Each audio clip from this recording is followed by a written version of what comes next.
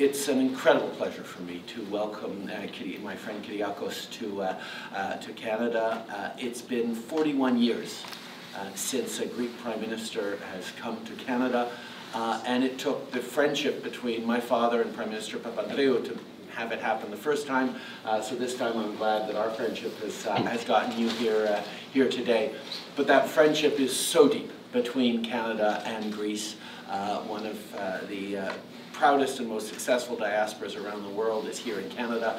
Um, the ties are deep and growing. Uh, the challenges in the world require friends with shared values and perspectives uh, to pull together and cooperate, whether it's uh, in the Middle East, whether it's uh, looking at some of the real challenges in uh, Eastern Europe, around Ukraine and elsewhere, uh, whether it's how we're continuing to build on investments, even as we're fighting against climate change and standing against wildfires with great cooperation.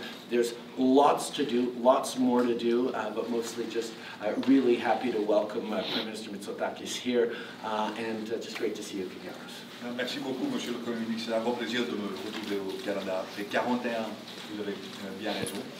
Uh, and uh, for me, it's, um, uh, it's a real honor to be able to, um, uh, to, to, visit Canada and to spend this very, very uh, important day together with my good friend, the Prime Minister Trudeau, but also engaging with what is one of our most dynamic diasporas, the Greek Canadian community. Today and tomorrow are very important days as we celebrate our uh, Independence Day.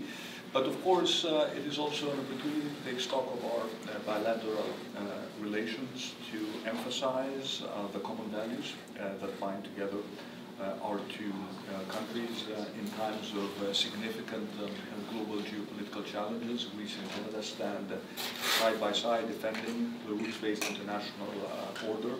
Um, and of course, it will be an opportunity to also talk about our economic ties. Uh, it is uh, a chance for me to also make the case um, to the Canadian business community that Greece has changed and that we've left the difficult years of the crisis uh, behind us, but also it will be an opportunity to sign uh, important agreements uh, that cement our cooperation when it comes to tackling uh, the climate change.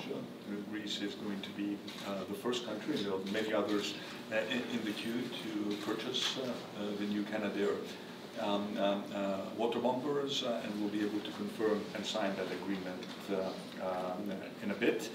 So lots to talk about uh, in a visit that has both uh, a political but also an emotional uh, dimension for me.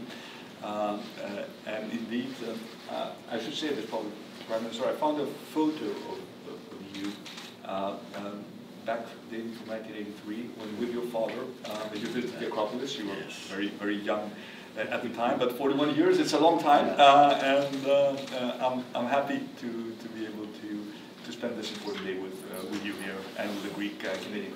But, but I have to say, he's being modest. The, the turn or the change in the Greek economic situation, uh, it's really been more than just a change. It's been extraordinary. What you have been able to lead in terms of economic uh, you know, strength uh, of Greece right now is, uh, is exceptional, and we're, we're happy to play a, a, a continued role in, uh, in the incredible growth that you're seeing. Thank you.